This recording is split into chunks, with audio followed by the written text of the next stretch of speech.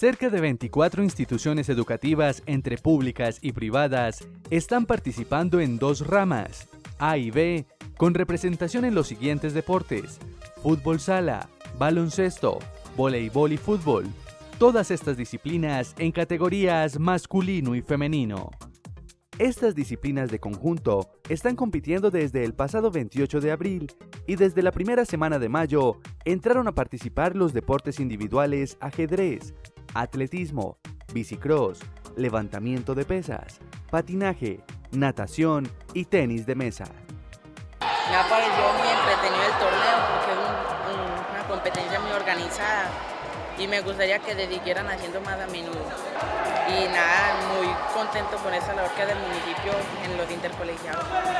Sí, nos ayuda eh, en conjunto para conocernos mejor, tener un deporte fuera de la violencia y cosas así que no son para menores.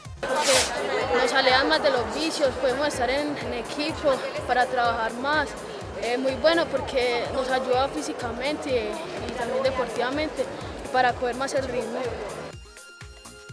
El evento deportivo se extenderá hasta la primera semana del mes de junio, donde se conocerán los representantes itagüiseños al zonal clasificatorio que llevará a la final departamental de intercolegiados en la categoría A, la cual se realizará en el municipio de Don Matías del 12 al 16 de agosto mientras que la final de la categoría B se estará efectuando en el mismo municipio entre el 26 y el 30 del mismo mes.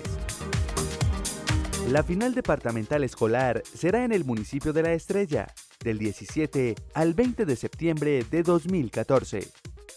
El deporte hace parte del cambio en Itagüí. Vívelo.